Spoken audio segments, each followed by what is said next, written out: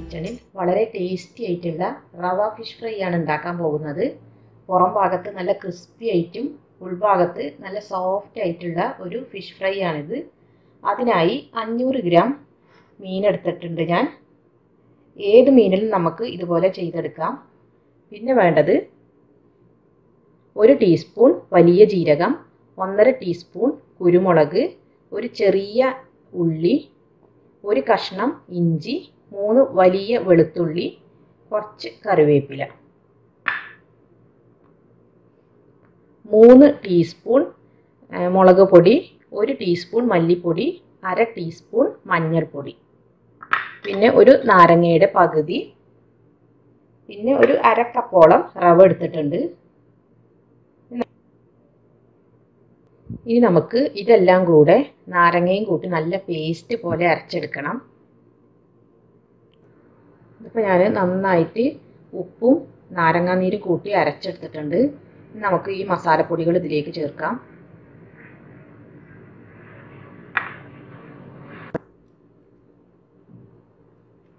അത് നന്നായി മിക്സ് ചെയ്തെടുത്തിട്ടുണ്ട്. നമുക്ക് ഓരോ മീനിന്റെ കഷ്ണങ്ങളെടുത്ത് ഇതിൽ തേച്ച് പിടിപ്പിക്കാം.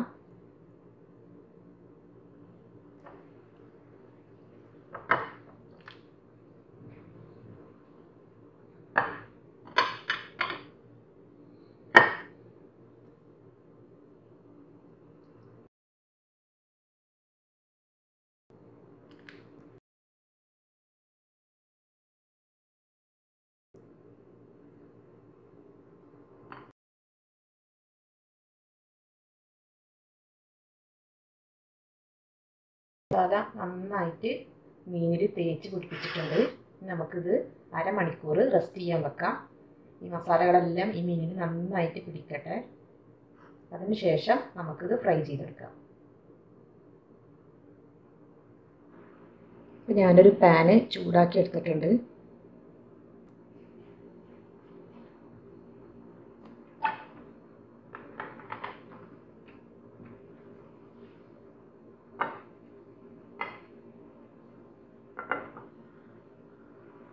ഞാൻ മീൻ മുളക് തേച്ചത് ഒരു മുക്കാൽ മണിക്കൂറോളം ആയിട്ടുണ്ട്.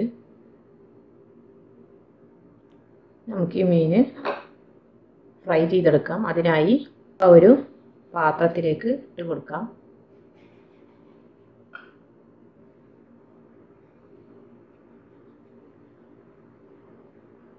നമുക്ക് ഓരോ മീൻ കഷ്ണങ്ങളും ഈ റവയിലൊന്ന് ഡിപ്പ് ചെയ്ത് ഓയിലിലേക്ക് ഇട്ട് കൊടുക്കാം.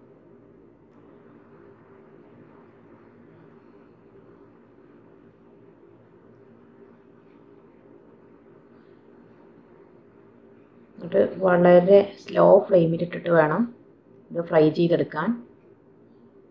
അല്ലെങ്കിൽ നമ്മുടെ ഈ റവ പെട്ടെന്ന് കരിഞ്ഞു പോകും. മീൻ ഉള്ളിൽ വേവില്ല അപ്പോൾ വളരെ ലോ ഫ്ലെയിമിലിട്ടിട്ട് നമുക്കിത് ഫ്രൈ ചെയ്തെടുക്കാം. നമുക്കിത് ഓയിലിലേക്ക് ഇട്ട് കൊടുക്കാം.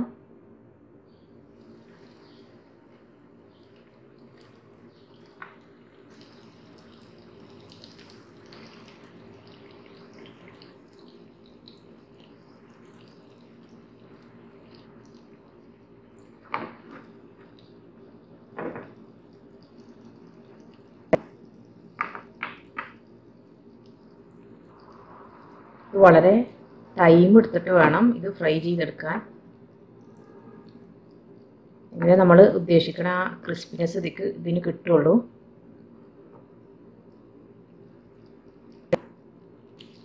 നമ്മുടെ മീനിന്റെ ഒരു ഭാഗം കുക്കായി വന്നിട്ടുണ്ട്. നമുക്കിത് തിരിച്ചിട്ട് കൊടുക്കാം.